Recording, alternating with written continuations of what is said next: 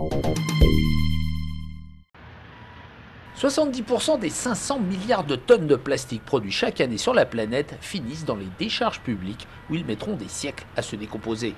Face à ce défi écologique, de nombreux industriels développent des plastiques biodégradables. Ici, la société californienne Cereplast a mis au point des résines à partir de maïs et de tapioca. Elles servent à la fabrication de divers produits jetables comme ses verres et ses emballages. Vous jetez votre verre usagé dans un compost et il se décomposera en moins de 180 jours sans laisser aucun résidu chimique.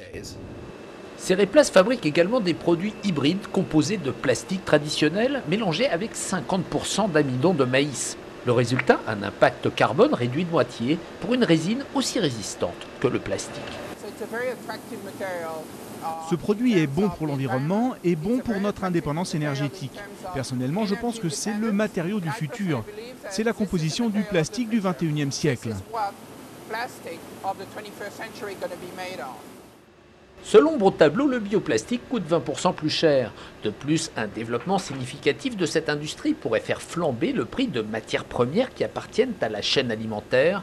Conscient du problème, Frédéric Cher oriente ses recherches vers l'utilisation de matières organiques non comestibles et aux propriétés prometteuses, les algues. Les algues, c'est la solution. Pourquoi?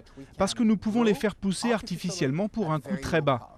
De plus, les entreprises qui actuellement tentent d'extraire de l'essence à partir des algues se retrouvent avec beaucoup de déchets. Et cette biomasse, c'est exactement ce qu'il nous faut. Cereplast prévoit de sortir ses premières résines fabriquées à base d'algues à la fin de l'année 2010.